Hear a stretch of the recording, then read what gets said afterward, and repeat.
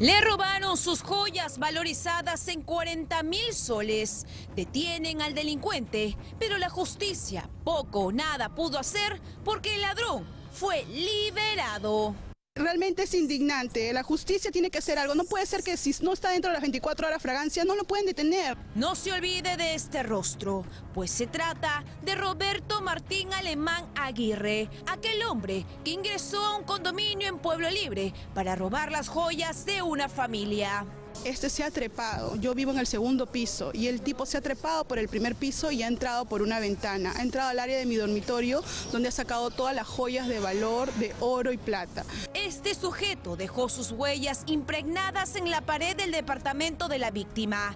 Una vez cometido el robo, sale del condominio con total descaro y tranquilidad, luego de haber guardado todas las joyas, anillos y cadenas de oro dentro de sus prendas de vestir.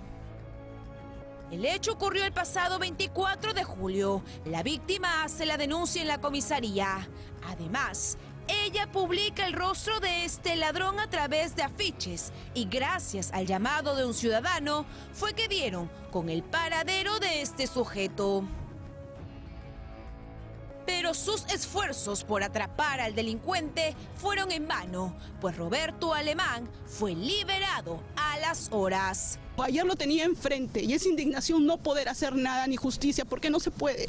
Lastimosamente hay una ley que si dice que si dentro de 24 horas no está, no lo pueden detener. Es injusto, la verdad es injusto. Según la agraviada, no es la primera vez que Roberto Alemán Aguirre es intervenido por las autoridades. Tiene antecedentes. El serenajo que lo capturó dijo que anteriormente ya lo había capturado por, por, la, por la avenida Colombia en Pueblo Libre y que lamentablemente la víctima no denunció. La agraviada llora de impotencia tan cerca al ladrón que le robó sus valiosas joyas y no poder hacer nada. Y pido al fiscal eh, José Ulloa que por favor vea mi caso, que vea la evidencia, los videos, las fotos, las imágenes y la ampliación de la denuncia contra este tipo, con Roberto Martín eh, eh, Alemán Aguirre, para que se haga justicia.